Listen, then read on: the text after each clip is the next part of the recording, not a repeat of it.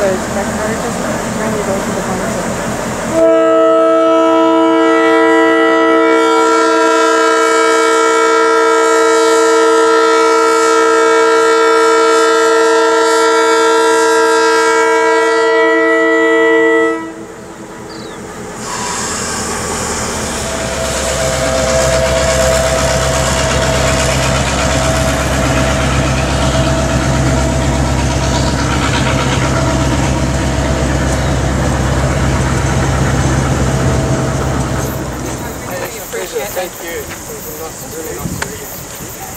I think it's quite brave, thank you. To be honest.